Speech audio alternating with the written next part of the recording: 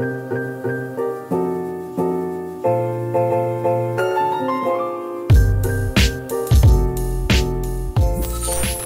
everyone, welcome to this quick tutorial. In this video I want to show you the new add-on for Blender, it's called Profiler. It's used for architectural visualization, so let me just quickly show how it works. I will select one of the faces of the cube and convert it to the curve and apply our profile. Then I can delete the cube now. So basically what it does, it adds a new collection uh, which is stored in your scene and you can add any type, any amount of profiles in your scene and all will be stored in this collection and it's hidden from the render. So after that you will get the new menu here with different types of properties. For instance we have here the dimensions of the profile. Uh, let me just select for instance this one maybe. Yeah. You can change the dimensions.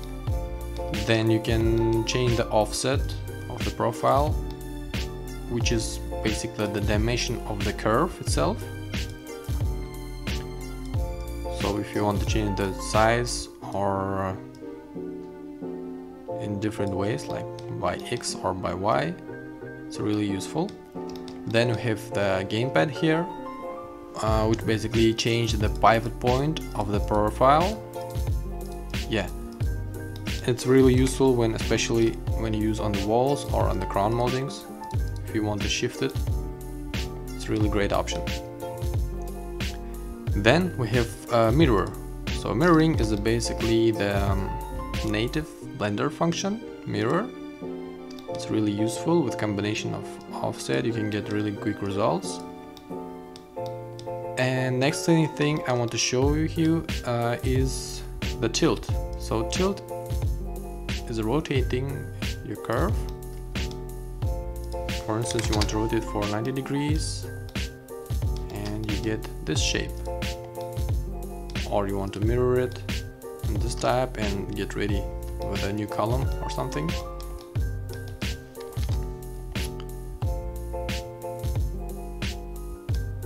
If you notice that uh, you can work in two modes like 2D mode or 3D mode I recommend to work most of the time to work in the 2D mode because of the, this problem here. When you work in 3D mode you have this problem like distorting on the corners. For instance, in 3D mode you can see here in this area we have some distortions. And it's really annoying sometimes when you have ready room on the corners you will get these distortions and it's not not a good thing. So I recommend to use 2D mode and change all your properties inside uh, this mode. Yeah. So uh, next thing I want to show you is resolutions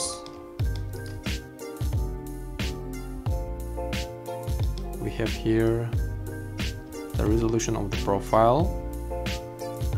And we have resolution for the curve which is not working now because we need to have the curve object like circle or something.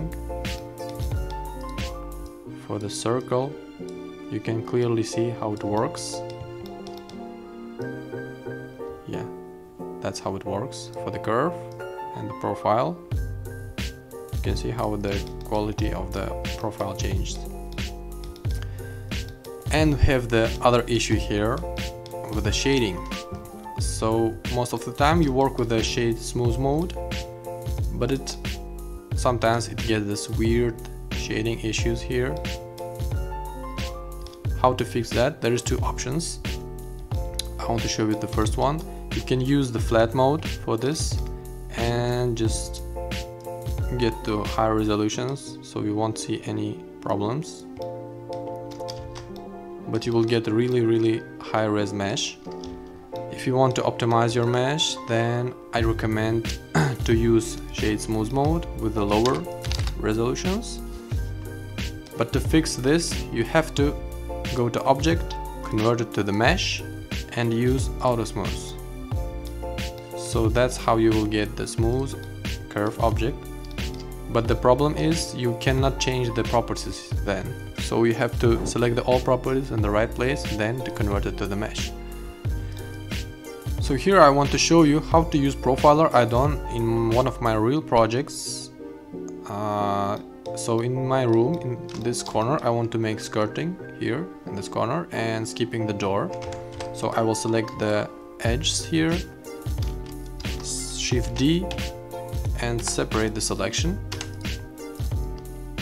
so when I when I have these edges I can convert them and apply my profile for skirting. So here it is we have this ready profile but as you can notice it's shifted a little bit.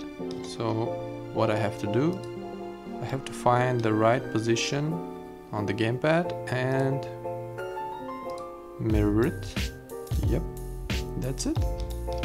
So we have the profile sometimes I want to make more to get more perfections here.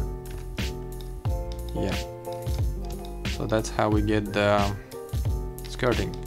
And I can apply any material on it. Uh, one more problem I want to mention that sometimes when you apply the profile and you can check the normals and it's inverted.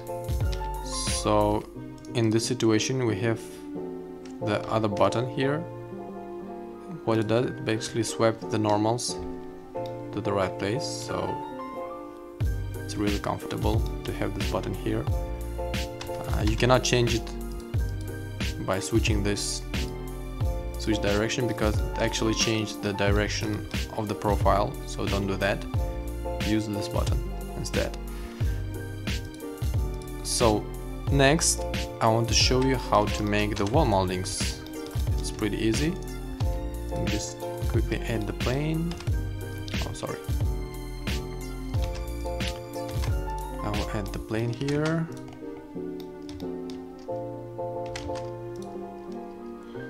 I will convert it and apply one of the wall moldings maybe?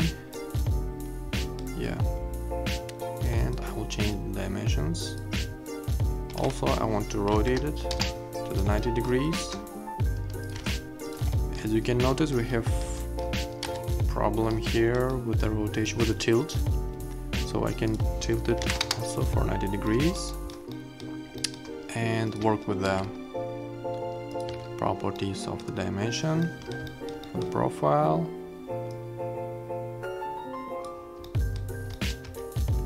Well usually I just if I want to be more precise I will go like 20 centimeters here below 10 centimeters below the skirting. And I select these edges go there and minus 10 centimeters. Same thing to this side. Okay. Yeah. And we have our profile ready to go. Let me just add quick material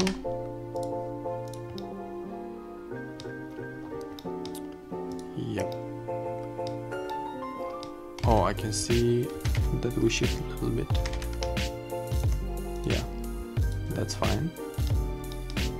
And I want to make the second one. So the easiest way to do that is Shift D, right click, go to the properties and offset. That's how it easy. Really amazing. Well, basically this type of profiles used in the new classic interior style. And I really love it, how it works with this add-on. Yeah. Oh, need to rotate it.